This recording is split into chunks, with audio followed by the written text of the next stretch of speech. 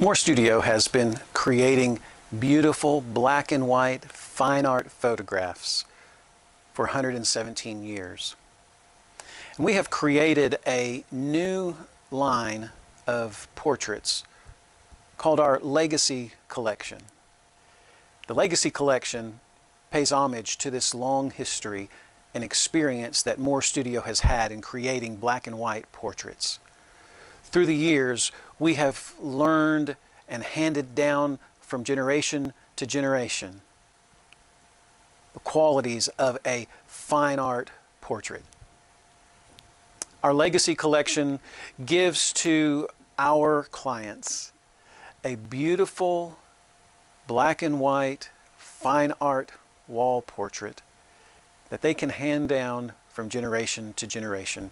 The emphasis of our fine art legacy collection is to represent the relationships between members of a family and the qualities of an individual. What are the qualities that make a portrait fine art?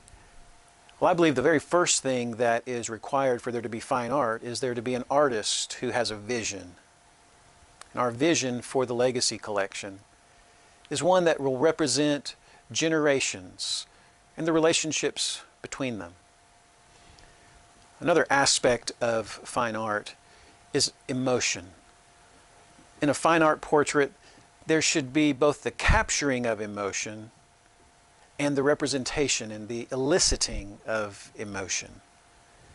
When you look at a Moore Studio Legacy Collection portrait, that emotion comes to the fore in our posing, in our lighting, in our expression, in the execution of the uh, print digitally, and finally in the representation of it in the printed form. The expression of the portrait comes through in the body language we use in posing. And it comes through in the eyes, and it comes through in the expressions that we inspire and capture. There's also a quality to fine art portraits that is in their execution. There's a technical expertise that's needed to create a fine art portrait.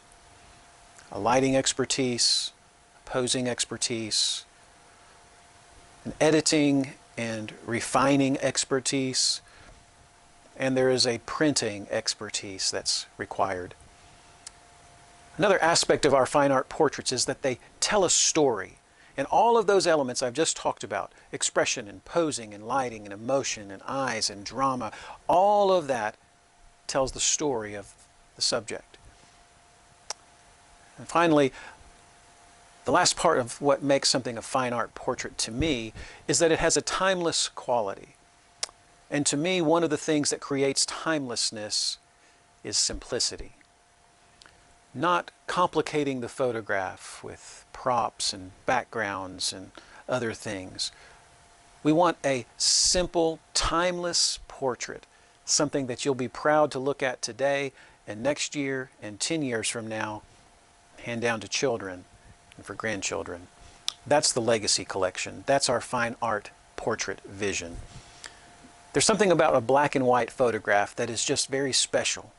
It because of its uh, tonal range, because the color range is limited, it really thrusts the viewer into the emotion, into the lighting, into the nuance of the photograph in a way sometimes that a color portrait does not. But in order for that to happen, there has to be drama, there has to be energy in the photograph oftentimes a photographer who is not skilled in manipulating the light to get exactly what they want creates flat or compressed light. In a beautiful fine art black and white portrait, there is a full tonal range. I like in my portraits for there to be a black that is deep and rich and anchors the photograph and for the shadows to have texture and depth and richness, for the midtones that represent the face and the highlights on that face. We like for there to be energy and dynamism In the highlights, we like for that, that highlight to add to that drama and for there to be a white point in that photograph. It may be a highlight, a specular highlight that gives energy and, and spark in just the right way, in just the right amount to that image. The range of expression, the range of lighting, the posing that captures attitude and, and body language and mood, all of that combined makes for a beautiful black and white portrait. Ansel Adams once said that the photographic negative is the composer's score, but the print, the print is the performance. A Moore Studio fine art portrait is not completed when we capture it in the camera, and it's not completed when we finish the meticulous process of editing that photograph, going through zone by zone and creating exactly the tones and depth that we want in every element of that photograph. It's not finished until it's printed. And we draw upon our long history of printing photographs to create for you a beautiful legacy collection print. We use the very finest substrates, uh, uh, photo quality, archival, museum quality paper. It's acid free and will last and last and last for generations. We use a Hahnemühle photo rag paper. There are three different finishes. There's a photo rag, there's a photo rag pearl that has a little bit more luminance to it, and then we have a watercolor paper that so beautifully reproduces the depths and richness of a monochrome photograph from the blacks all the way up to the highlights and the whites. The process of printing those with multiple monochrome inks so that we get the full range of the tones on the very finest printers.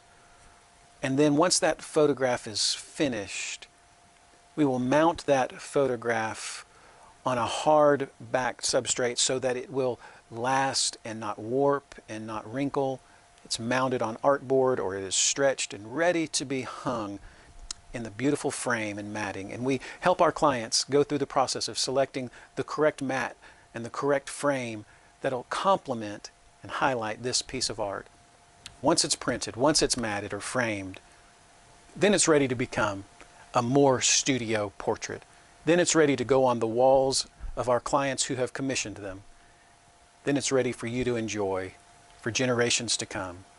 Then it's ready for you to have a legacy of your own to hand down to your children for generation after generation, just like Moore Studio has been doing for all of our clients for 117 years.